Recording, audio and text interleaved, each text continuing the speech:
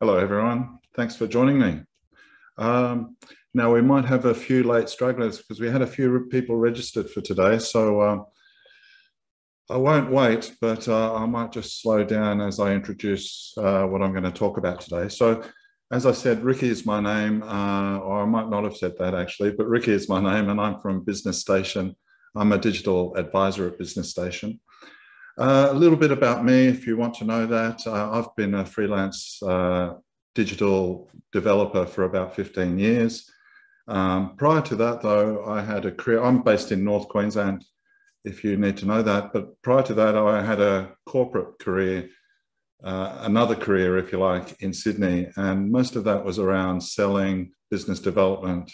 Um, so I've been involved in some uh, bid teams, I've ran bid teams, uh, and I've worked for some of Australia's largest organisations, primarily IT and telecommunications.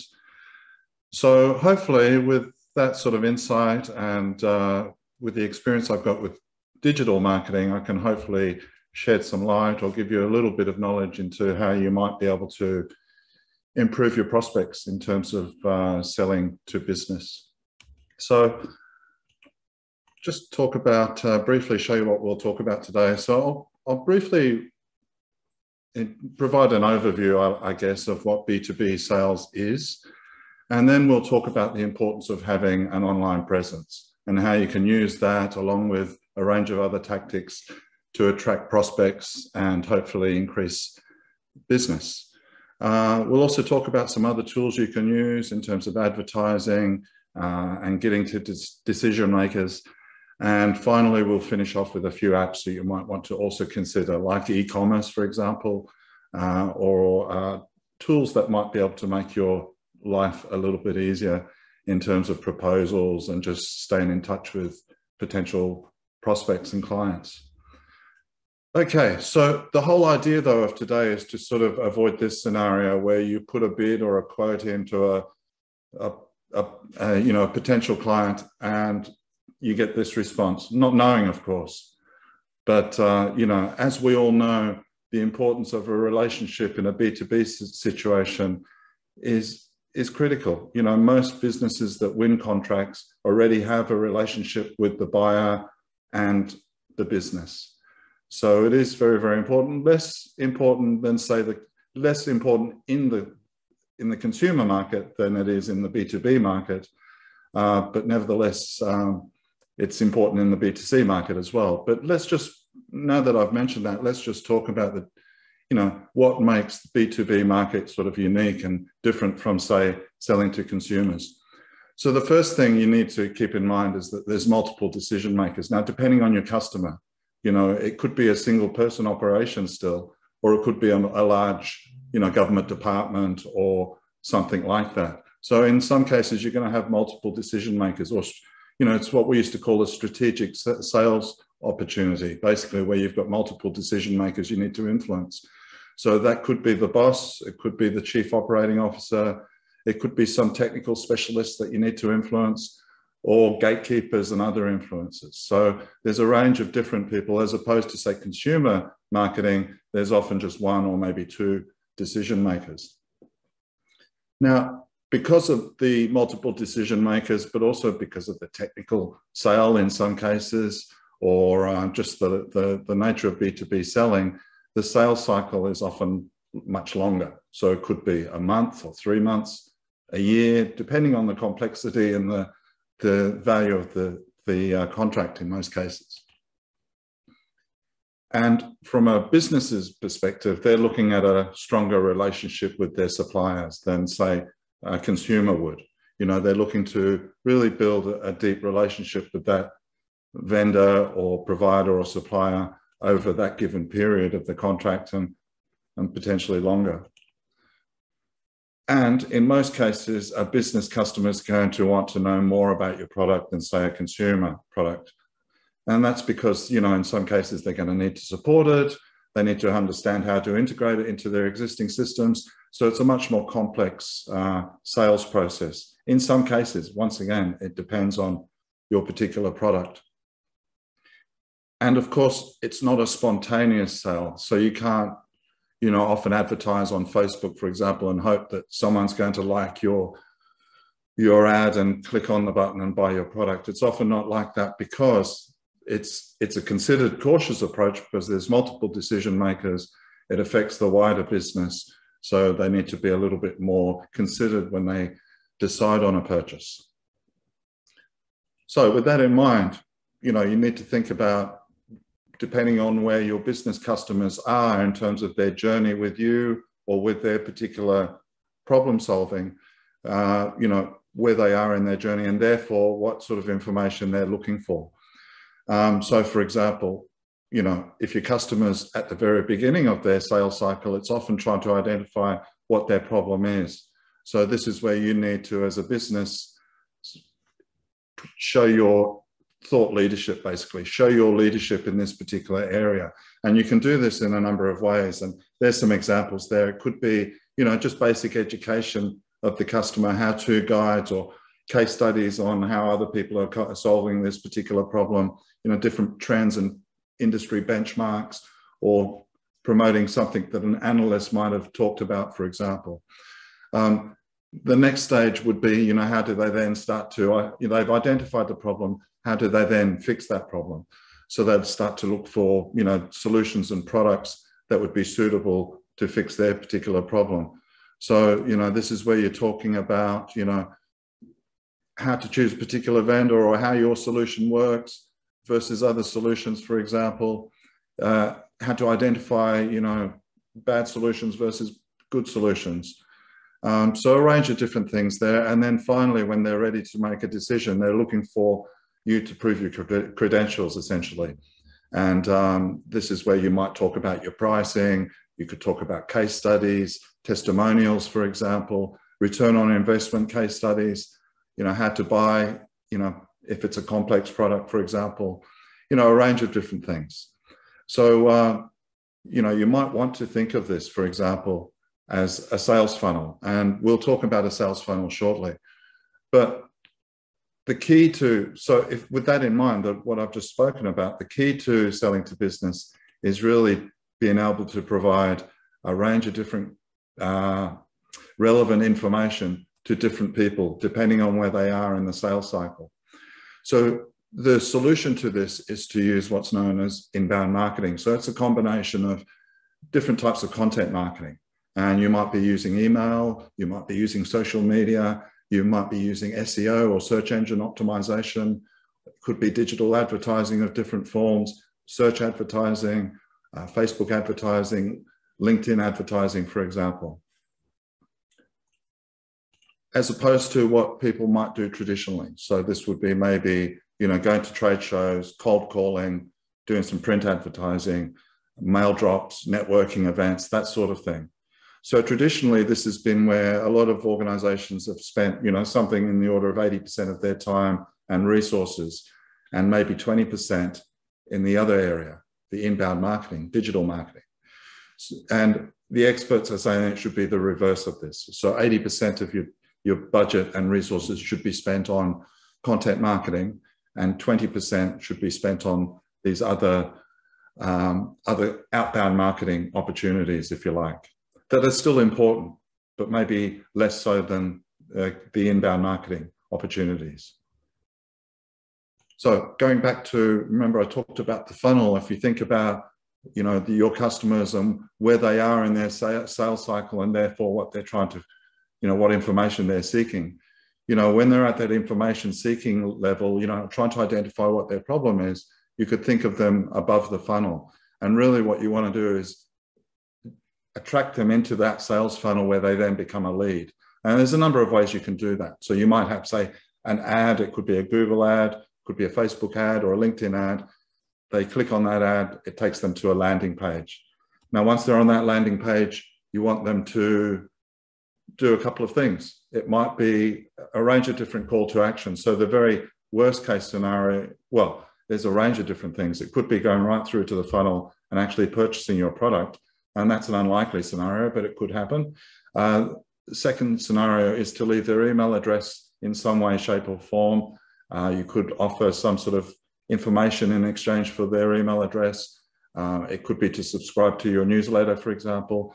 Um, so that's the second call to action. And third, or worst case scenario, is they leave, they've visited your website, they leave, and that's where you might start to do, say, retargeting. And that's where you start to build this funnel.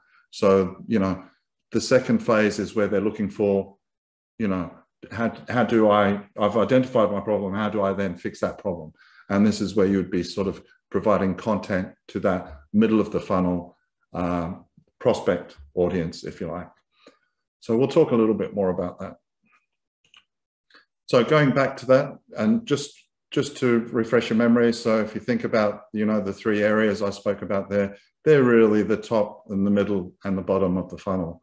And so you really need to identify what content you need to provide these individual types of customers. So here's an example. So top of the funnel, you might consider them, they've come into your funnel, they're a lead, they're looking for, uh, you know, some of that uh, problem identification information. So, you know, this is where you might share that information I spoke about, but some of the things you could use there would be blog posts, for example, or ebooks or white papers or infographics, explainer videos. There's a range of different things you could do. It could even be a range of emails that like a drip feeding information about particular features and benefits.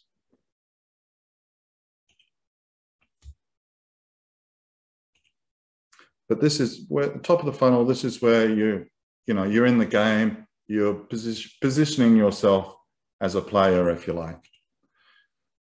Then comes the middle of the funnel. So they then become a, a prospect. And this is where, you know, you're exploring their specific needs, for example, you're sharing different types of solutions and approaches, and you're building relationships with them. So different types of content there might be things like videos or webinars, podcasts. You could even speak to them. So this is where you might offer a, you know, a one-to-one.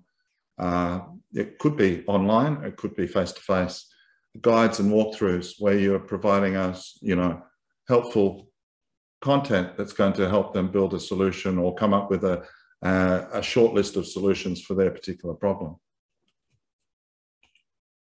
And then you've got bottom of the funnel stage. So I will go into how you might deliver all of this content at different stages but this is where they're ready to make a decision. So, um, you know, they they've considered all the all the all the uh, different options out there. They've decided that potentially you're one of the uh, you know final few that they're going to decide upon, and this is where you need to just you know convince them that you're the best choice uh, or the best solution. So case studies, testimonials, um, a range of different things you could offer there, different comparisons of solutions if you're you know, confident of doing that. Uh, live demos, uh, meetings, once again, is also very, very important. So this is sort of what we're aiming at in terms of trying to get your users or your people that aren't necessarily aware of you through that funnel process. And like I said, it's going to be using a combination of these three, or sorry, four different or more different types of content marketing. So having said that, let's talk about your online presence because your online presence, you really need to think of this as um, it's really like your location, for want of a better description, where if you had a physical location and it was on a great intersection that got lots of traffic passing by and potentially stopping by, you know, that's really what your online presence is about. And you use tools like SEO, for example, to bring foot traffic to your, your location. So uh, if you can think of it like that, your online presence is critically, critically important. You don't want to only be visible on certain social channels. You want to be, try and be as visible as possible across all of these channels. So that would include, you know, a website, for example, email marketing, you know, doing social media posts, both organic and or paid posts, getting yourself listed on various member directories and or business directories. There's a lot of business directories out there. And this does help, and I'll talk a little bit more about that. Getting yourself in online articles, and that could be your own blog posts, trying to answer someone's question, trying to give them advice on solutions, but it could also be in guest posts as well. So guest posts are a great, great way to raise your online visibility through high authority website. So if you're ever looking for opportunities there, you just need to search for them on Google. So you'd search for something like Write for Us and then your particular industry. You might need to play with that a little bit, but you'll find a lot of articles there that are, or a lot of websites that are looking for content. Uh, in other words, guest, guest posts. So this is really a, what you need to do to build a strong online presence. The stronger your online presence, the more organic traffic you're going to uh, attract to your website. The, therefore, the more conversions you'll make, more customers you'll you'll generate, more business you'll generate. So now I've talked about organic. There is also the paid component, but if you think about, say, the e-commerce industry as a whole, uh, industry uh, research has shown that organic traffic accounts for, uh, you know, as, at least 40% of their of the top uh, organic, uh, sorry, e-commerce websites, and in some cases much more than that. So organic traffic should be very, very important to you, and this is one of the ways you can sort of uh, improve that and boost your online traffic. So why is your online presence important? I've sort of talked a, a little bit about it there, but also here are some sources uh, from some uh, organizations out there. So nine out of 10 B2B buyers say online content has a moderate to major effect on purchasing decisions. So they're using online content, and you, of course you would, to make these decisions. So if you're not in that mix, then you're not going to be a player and not going to be considered. 84% of CEOs and vice presidents use social media to make purchasing decisions. So that's 84%. That's a very high level. 67% of buyers' journey is now done digitally. So this is where they're doing that research. What is my problem? How can I solve my problem? Who are the different providers of solutions to that problem? You know, how can I find out more about them, etc. This is all done now digitally. So you need to have that long, strong online presence to ensure that you're you're getting the eyeballs and therefore the traffic to your website. So one of the first steps in that process is, of course, to have a website. But why do you need a website? You know, there's a lot of other platforms out there, but a website is critically important for a number of different things. It allows you to build brand awareness. And just you know, just show you as an example, even though this doesn't necessarily apply to that particular statement. You know, people do do research on Google. So, you know, here's a particular one here, widget suppliers in Townsville, for example. You know, this might be what someone would search for. You need to make sure that you're in this in these search results. And there's not just one search result, there's three at least three on this particular page that you can rank on based on a search term. There's advertising, there's organic SEO results, and then there's your Google My Business or Google profile, you know, your map, your reviews, and your Google business profile. So there's three areas that you can rank here, let alone shopping or images, for example, which might not be so relevant for a B2B business, but still important to, uh, to make sure that you have an online presence because you want to rank in this regard. So building a website is important because it allows you to create that brand awareness. People can discover you and find out more about what you do. It enables you to build awareness, but also build credibility. So as you know, uh, first impressions are important. So if they come across a professional website, you know, it's a big tick in the box that you've got some level of credibility there. But you can sell that even more. So what you do, you know, what your capabilities are, what your experience is, you know, what your customers say about you, some of your large customers, for example, that you've worked on, case studies. So it's all of this sort of information that you need if you to say to respond to an RFP or a tender, for example. This is all the information that you're going to need to provide anyway. And, and likewise for an online uh, presence. You need to have that sort of information there. So what our clients say about us, get in touch with us, get a quote, all of these sorts of things. A website is an ideal platform to do that. It's also a great platform to show your skills. So, you know, who your people are, this is a mock-up, it's not a real one, but uh, who your people are and why they're brilliant at what they do. And, you know, therefore why your company is brilliant at what they do. It's also an excellent way to just promote your products and services. So what, you know, clearly on the homepage, you need to tell people about what you do, what you specialize in, and, uh, you know, make it easy for them to find information about that. Okay, so a website's important, but there's no good having a website if you can't get that website found. And that's where SEO and keywords become really, really important. So keyword research is a really critical, important, important part of SEO. And the reason for that, hello, Guy. Um, the reason why SEO is important and keywords are important is because Google use it as the key way to understand whether a website is relevant to a particular search term. So, I mean, this quote here is an actual Google search uh, quote, a Google quote. So it is very, very important. And it is the main way that you're going to. So, for example, going back to my search before widgets in Townsville, if you don't have that on your page, that content in some way, then you're not going to rank for that particular search. That sounds pretty obvious, I guess. So from an SEO point of view, uh, from B2B or any sort of SEO goal perspective, what you really need to do is a couple of things. You really need to identify and selectively, under, underline the word selectively, use a target keyword phrase. And by phrase, we're talking about a three to five word phrase. So really, this is ideally ideal situation. Identify and selectively use a target keyword phrase. You could also use some or identify some related terms and variations, synonyms, that sort of thing. But for each of those target keyword phrases, you need to identify that for each of your pieces of content that you have on your web page. So that includes every page, every service page, for example, or product page. And they need to be unique for each one of those.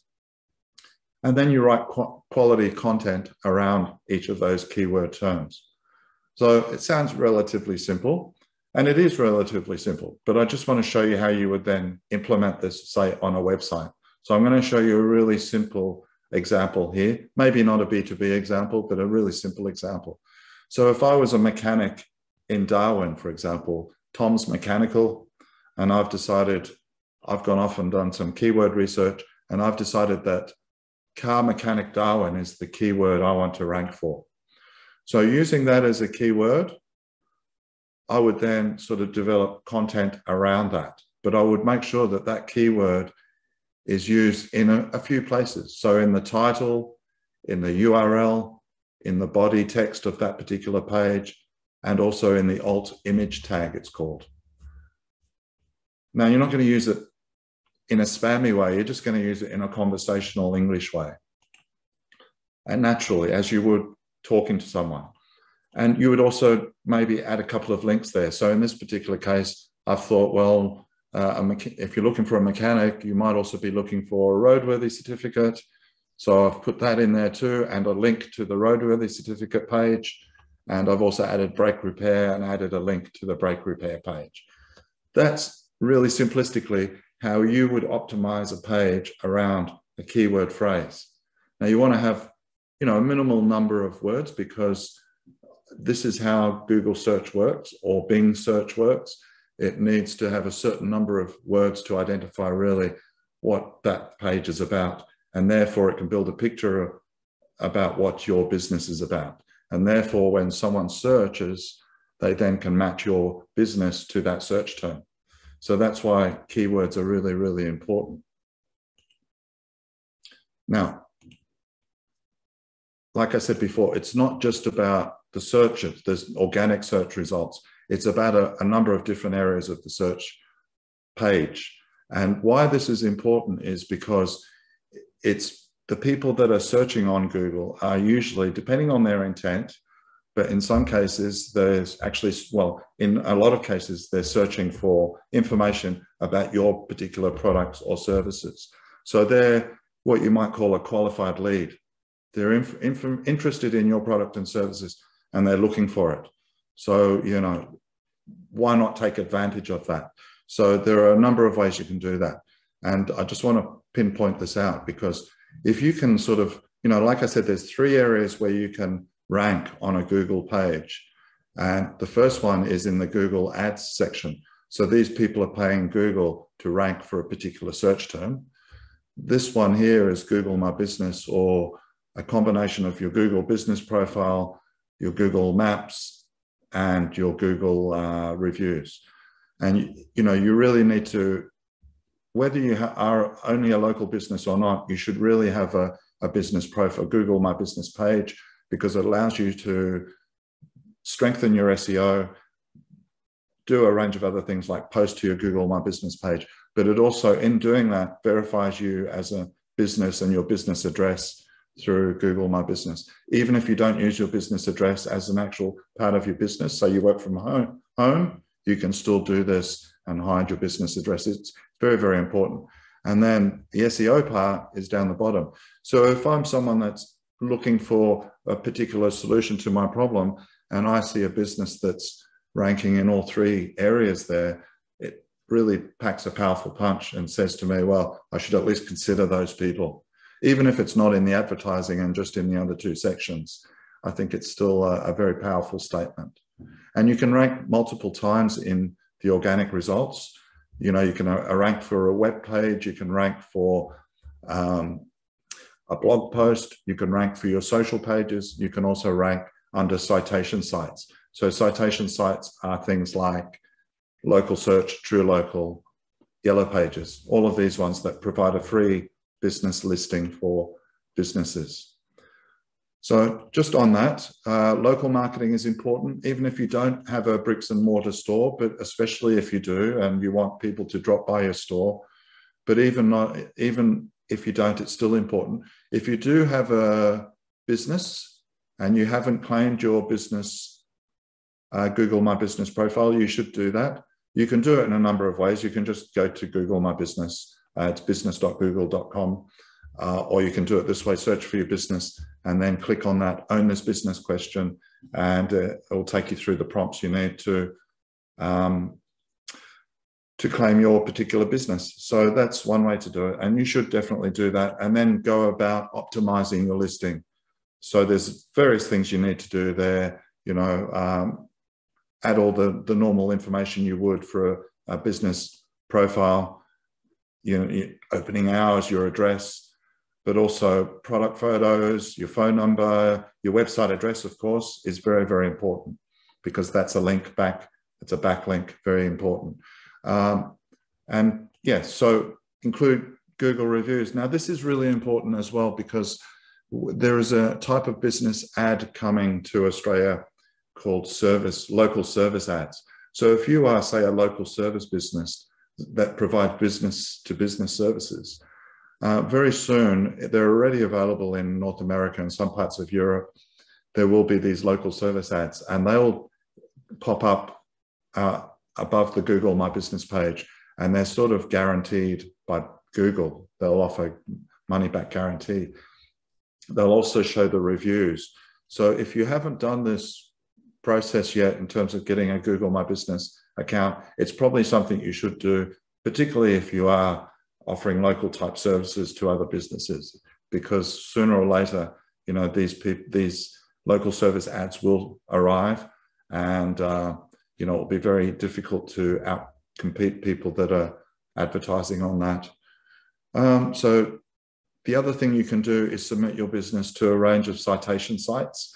And this will give you a lot, a lot of links and therefore authority in terms of SEO. So just help you in terms of raising your visibility.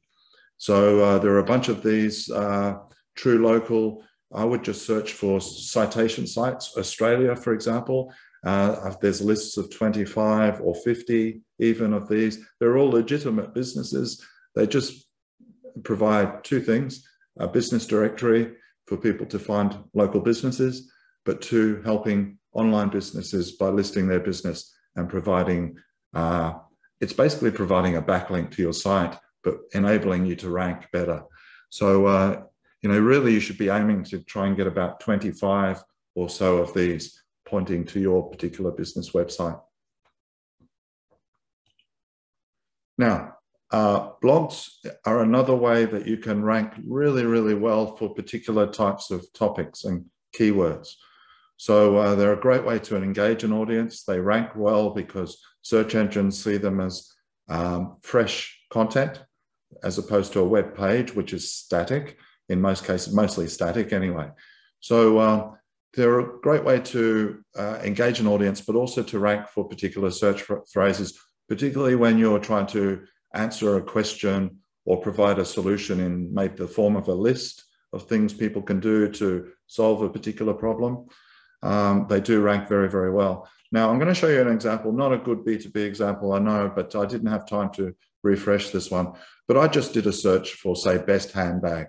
Now, you could do the change handbag for anything you want, but the point, I just want to show you this to make a point, basically. So if I search for that, and it comes up with a whole bunch of lists uh, of results, including what people also asked, which is also quite useful for coming up with an idea of what you might post yourself. But just the reason I'm showing you this is every one of these results here are actually blog posts. There's no static pages here. They're all blog posts from, in most cases, glamour, you know, multinational brands. But um, just want to show you that in some instances, blog posts outrank almost everything else. So it is definitely worthwhile uh, if you're trying to answer a question, you think about top of the funnel and where they're looking for solutions. It's a great way to provide a, you know, a, a wordy document that provides a list of ways they can fix that problem or compares different solutions. Uh, you know, and this also goes into that middle of the middle of the funnel stage too. So blogging is a great way to get people to your website because it's answering a question. You just want to make sure that somewhere there you've got links back to your website. So, you know, calls to action or just links within the actual blog pointing them back to your website. Okay, so that's a range of different organic things and SEO. Uh, also, just touching on how you can use social media because you know, social media should be supporting your overall goal, goals, you know, whatever your objective what might be. And uh, so, for example, just if you think about that funnel process, but based on different types of research here, this one comes from Content Marketing Institute, many B2B marketers are using their social media in one of three ways. Primarily, they're using their social media to create brand awareness. So, who are you? What do you do really well? What do you stand for? But they're also using social media to educate their audiences. So, what are your capabilities? What are your team skills? What projects are you working on or have worked on? Case studies, for example, maybe products and services that you offer. So, this might be that middle of the funnel content. And third, would be building credibility and trust. So this is where they're deciding on who they're going to go with. So awards, milestones, reviews, testimonials, anything that you can do to build credibility and trust in your particular brand. So if, if you think about your content schedule over any given week or month, then you should be breaking it down into potentially these three areas plus you know you might have other areas you want to address but potentially these three areas should uh, you know take a big chunk of your resources in terms of what what content you're putting out there. And you know you need to be regularly consistently posting to social channels. And the right social channels where your audience is going to be found. And i can't speak for your particular audiences but you know these are some of the more traditional ones you might find audiences on. And not to forget that your blog post is also a form of, if you like, a social channel. So, uh, you know, there are platforms around, such as Buffer, and there's a few other ones out there that are post schedulers. They'll schedule posts to your social platforms, and that can include your blog post. That can include, if it depends, but say WordPress blog post in most cases. But it can also be um, say your Google My Business page or lots of your other social media channels like Facebook and LinkedIn. So it might be worth considering one of these. Buffer has a free plan for up to three social profiles. So if you only have three of those profiles that you want to send content out to, it might be Google My Business, LinkedIn, and Facebook, for example, then Buffer's a good choice for you to at least get started and start to build that, that content. Your blog post also, you can promote your blog posts through these social channels as well. Okay, so uh, just touching on advertising now. So we've mostly talked about organic, how to get traffic to your website in an organic way, but there's also ways to get traffic to your site by paying for that particular traffic. So, and sometimes you might want to do both. And in a lot of cases, you, you should be doing both because creating awareness is one of those things you should always be doing, even if you have a minimal budget just about trying to get people into that funnel. Now, the rest of the funnel you can take care of through things like email marketing and that sort of thing, but you want to try and get people into, um, into that funnel on a consistent, regular basis. Now, from an advertising perspective, there's different types of advertising platforms, of course, and they all have their place and their position. So Facebook, for example, or Instagram is great if you're trying to sell primarily to consumers. But also keep in mind that many of your business customers are also spending time on there as consumers in inverted commas. So it is a good way to also influence them um, or influence people that may be influencers within that business account. So it's not something to, to necessarily forget if you're not selling to consumers. And Google is fantastic if you want to sell to both consumers and business where you are primarily going to be searched for. You know, so where your service or product or brand, brand is important because people search for brands. So if you sell a particular brand, then you know that's a searchable term. Um, but you know there are also different differences between them, and we'll talk about that in a sec. And then of course you've got LinkedIn, which is fantastic if you want to directly target businesses and government organizations, for example. So let's just briefly look at these two. So this one's a little bit dated because it's not even called Google AdWords anymore. It's just called Google Ads. Uh, now, the, the main differences between the two of them is I really think that one is where one's searching for a product. So there's some sort of intent there. Whereas with social or Facebook, it's more about um, almost like a spontaneous thing based on their likes or personalities or preferences. They may they'll see your ad potentially and therefore maybe buy your product. Whereas with search ads, they're actually actively searching for your product. So that's the, the primary, primary difference between the two of them. Now, there's also LinkedIn. Now, LinkedIn sort of does a combination of the two of these. It does you know, both forms of that sort of advertising.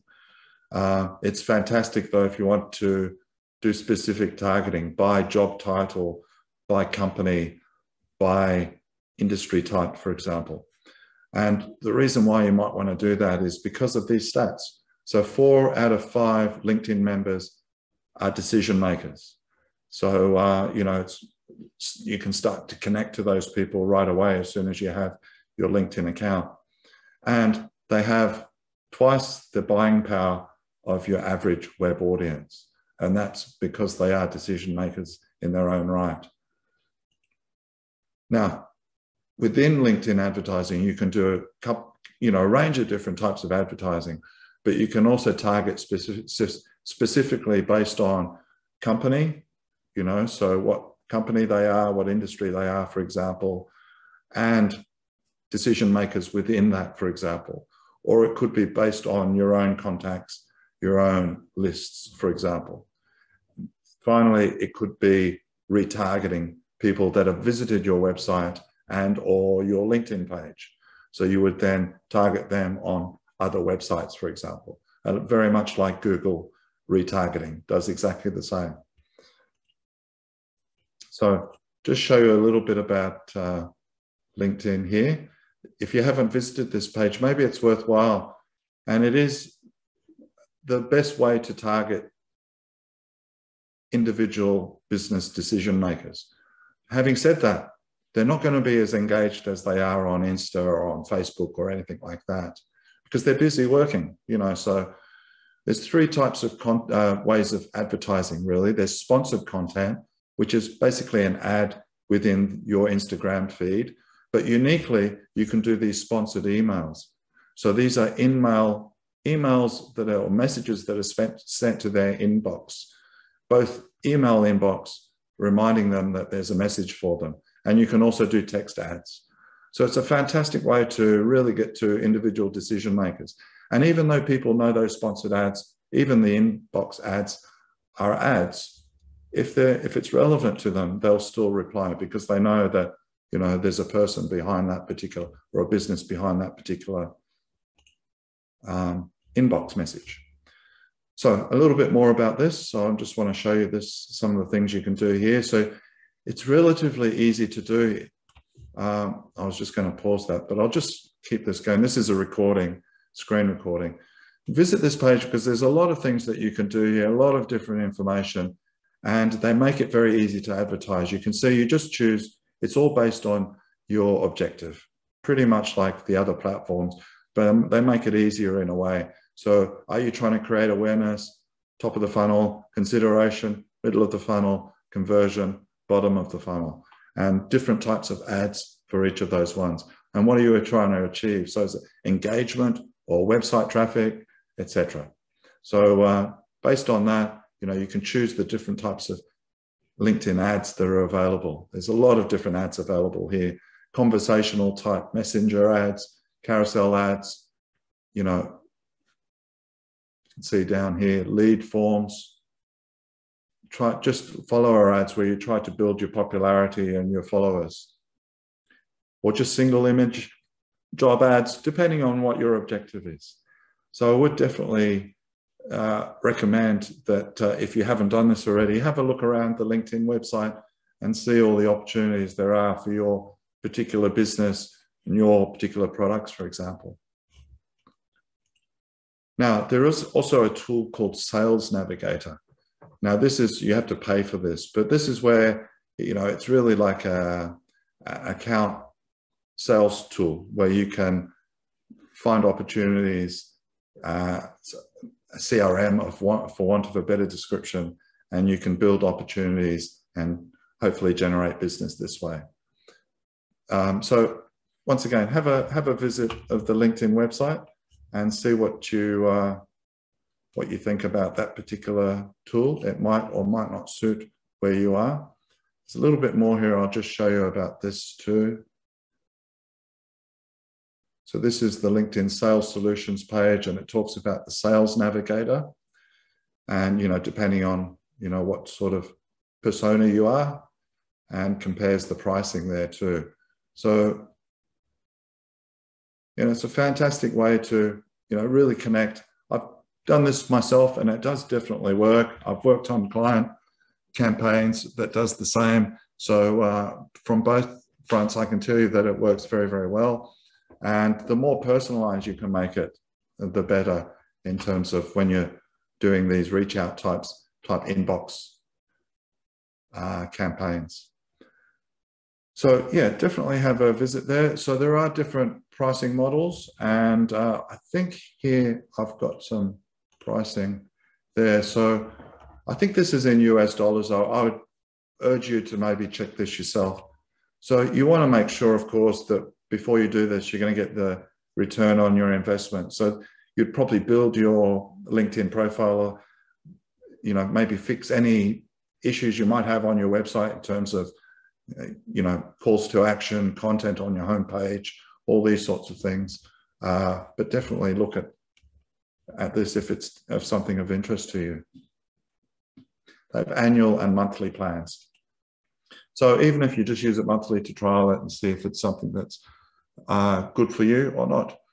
Now, I did mention retargeting visitors. So this is where someone's come to your website and looked at something on your website and you then retarget them on another website. So, uh, you know, we've all probably experienced this where you've looked at a product and then suddenly you're seeing it advertised on another product platform. And it's really easily done through cookies and pixels and things like that. So uh, this is something you can do through all of these platforms. Uh, and it might be something that you want to consider because this is where, you know, if you think about that funnel again, once they leave your website, are you ever going to see them again? So this is a great opportunity for, if you think about that foot traffic, you don't have necessarily the people walking past your store. So when they come in, grab their email address. If you can't do that, or if they haven't subscribed to something, then you know this is your fallback position to retarget them in another way.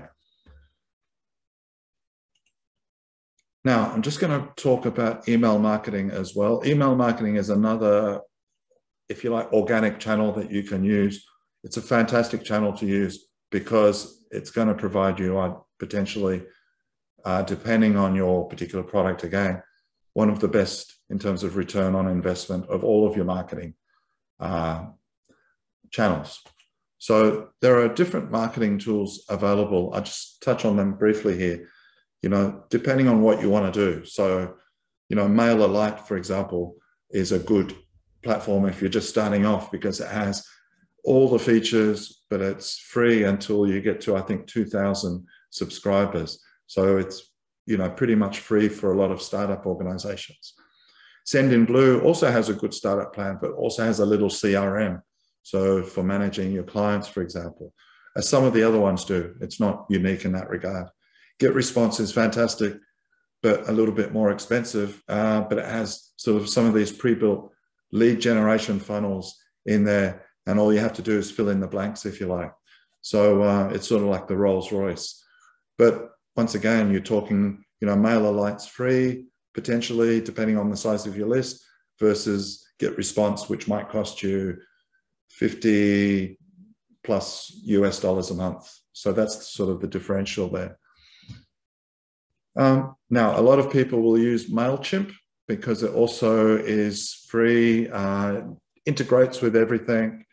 Um, so I, will just show you this as an example. So MailChimp is a good example of what these ones offer. It's like the original email marketing platform. And just show you because I'm just going to stop it there. So they don't just do newsletters anymore, these email marketing platforms. They're really sophisticated tools. They do, uh, you can build landing pages with them now. As you can see here, you can do appointment scheduling, but there's a range of different automation tools that you can use as well. So you can do email, of course, landing pages, ads from within the platform. Um, you can manage your client list, segment it into smaller groups so you can do more personalized email marketing to them. And then you do some automation. So automations would be things that you might, ne- might necessarily have to do manually, but this would do it automatically for you. So just to give you an idea of the pricing here, so depending on your list size, how much it would cost you in Australian dollars, and as you can see there, the, the free one's not too bad. You know, it gives you most things that you would need to get started.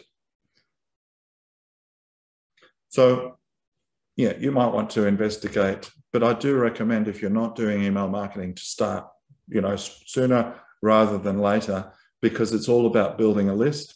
And the sooner you can start building a list, the better. And some of the reasons why you might want to use email marketing is because of some of these things. So it will provide, if you do it right and you've got a, a sort of a critical mass of subscribers, it'll provide the highest return on investment of any of your marketing channels. And that's because those people have already, those prospects, if you like, have subscribed. They've already got some skin in the game. They've subscribed to your list. They're obviously interested. Therefore, uh, they're more likely to be more engaged with what you've got to say.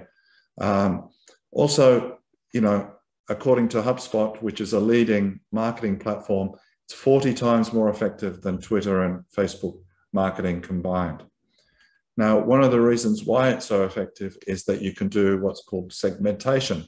So you can get an email list and you can segment it into real personalized groups. So you can do individual personalized marketing to those groups. So this becomes really important once again if you think about where your customers are in their journey. You don't want to do this scatter or like a shotgun approach with a newsletter, hoping that everyone's going to be interested in it when you might really want to be better off. And nothing wrong with a newsletter because they are good, but you also want to make sure that you're sending people the relevant information they're wanting at the right time. So, uh, you know, you can do that through segmentation and through automation. So uh, segments can be based on a huge range of different criteria. And I'll just show you that quickly using this. In this particular case, I'm showing you Klaviyo. Um, but Klaviyo will uh, gives you a, a, you know your particular list that you've got already. But I just want to show you how you can create a list and how that might be relevant to what you're doing. So if, I'm just going to click on there and create a segment rather. So a segment is a cut down or a group subgroup within a list. And uh, I'm just going to show you, make up a test one here. Now, most of the sophisticated email marketing platforms allow you to do this and allows you to define who's going to be on this list. So in this particular case, you can choose a whole bunch of different things, but I'm going to choose what someone has or hasn't done, the top one there. So, and I can then choose a metric. So what they might have done with my emails, for example, open them or not open them, or maybe a product they viewed or not viewed or a form. But in this case, I'm going to choose, it's a Shopify site. I'm going to choose something they've done on the site. So in this particular case, a product that they've ordered. So now I've created a list where everyone that's ordered this product at least a few times, in this case, I'm going to say three times, is going to go onto this list. So every time someone orders a product for the third time, they'll be added to this list automatically. And then you can, you know, so I can specify which particular product or whatever I want. So if I choose product ID here, for example, I could choose that particular product. And then therefore everyone on this list that's ordered that particular product three times, I can then do very specific marketing to them. They're frequent buyers of this particular product, and therefore my content will be based around this particular product, for example, or maybe some product that complements that, or what other people might have bought in the past that also bought that product, for example. So that's how you might create a segment. I'm just going to move on from here because all I really do is make that segment a little bit more specialized or niche. So once you've created your segments, you can then create some automations around those segments. So automations are really, depending on your email platform, some, some people call them flows or journeys or automations. And automations are just about uh, automating your marketing, uh, your email marketing, but your customer service as well. So, you know, it could be based on a range of three things, essentially. Three triggers would be would would trigger an automation.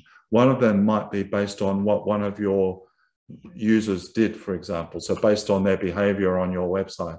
So in this particular case, you know, you've all probably heard of the abandoned cart email. So that's when someone abandons a cart and then you then automatically send them an email reminding them that they've abandoned the cart. So uh, that's one trigger, for example, but it could be based on all sorts of different behaviors. Another one might be based on particular segment they're in, like the one I just showed you there. So all these particular users that have bought this particular product, for example, um, or some dem demographic it could be, or it could be geography or some other thing like that. Um, thirdly, it could be based on date. So if you have a product that requires uh, refilling, restocking, um, or you know replenishing of some sort, then you can organize a automated date-based trigger after a certain number of days. An email is sent to them, reminding them to refill or to restock um, their particular product. So email marketing is a fantastic tool to help you fill that gap uh, in terms of talking to the, customer, uh, you know, without having to necessarily do that manually, uh, you know, with limited resources and limited time. So I'll just show you that from a, so this is MailChimp. This is what MailChimp show, uh, offers in terms of their inbuilt workflows, they call them. Um, so these are the automations I just spoke about. So a welcome message, you know, everyone should have a welcome message. So this is when they've subscribed to your list, whatever that list might be. Um, you should have that as number one. And number two, if you do sell products to business and you have a shopping cart, then maybe a uh, a uh, abandoned cart email would also be a useful one as well. But there's a range of different ones there that you can easily pull up and use instantly. So that's email marketing. And uh, once again, recommend highly that you get that started if you haven't, so you can start building that list. And the way you build that list, by the way, is having uh, you ask them wherever possible to join that list. So you have a big call to action in the middle of your page saying, subscribe to our list, whatever that list is, so that you can get this benefit and this benefit. Because it shouldn't just be necessarily about join our newsletter. You know, you should really try and sell that to them and give them some reason to to sign up so you get a lot of subscribers. Okay, so a couple of other things I'm just going to briefly talk about because we're almost out of time here. So uh, just things that might make your job a little bit easier and maybe you haven't seen them or have seen them. But there's a lot of proposal apps out there now that you can use. Proposify is one of them, for example, uh, but there are also other ones available. Um, just, yeah, this Sorry, that's meant to be a video, but it's not working. But there is Proposify. There's also Panda Docs, same sort of thing. You can go and visit them, and they have proposal apps across all different types of industries.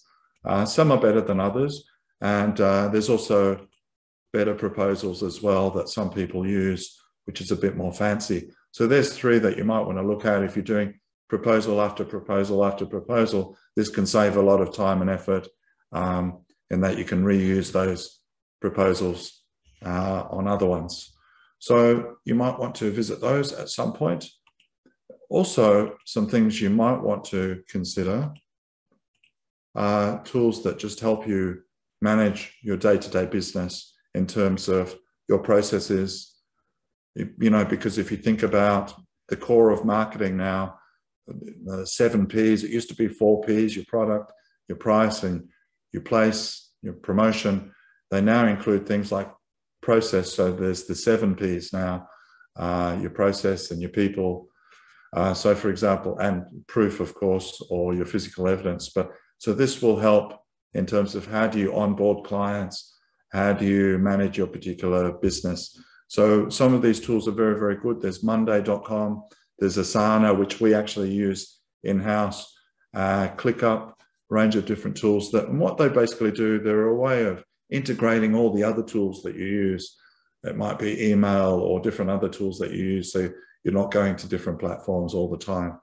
Um, and also just help you collaborate with your team and or your clients. So quite useful tools there. I haven't touched on e-commerce really um, but e-commerce of course is really really really important.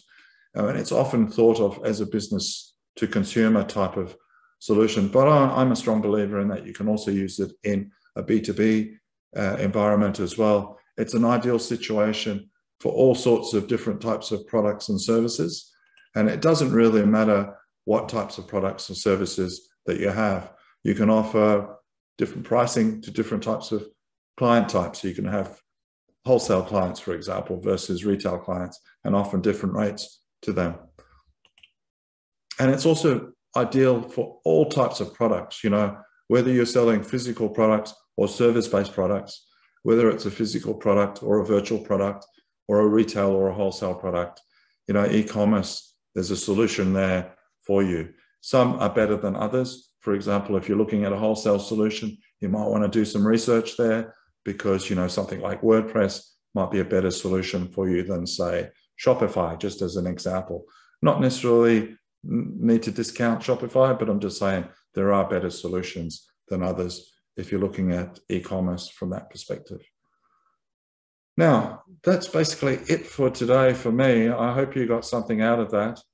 I'm just going to stop there. Um, if you have any questions, I'll try and answer them. If not, uh, you're welcome to grab my email address there, Ricky at Business Station, and you can shoot me an email if you need to, if you have any questions or if you'd like any information about some of the things I talked about today. Um, but like I said, hopefully you got some value out of that. Um, thank you, Kelly. Thank you, everyone that uh, was part of today. Um, yep, so all of you people there, thank you very much.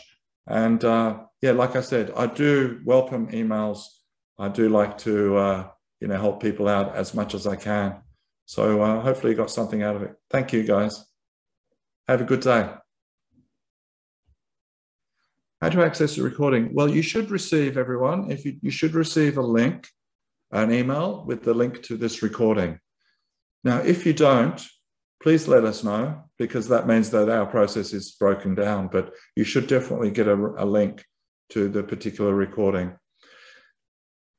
Um, yes, I can send the PowerPoint slides. The problem is because I have a lot of screen recordings in there, it tends to be a really big file. Like we're talking 500 megabyte plus.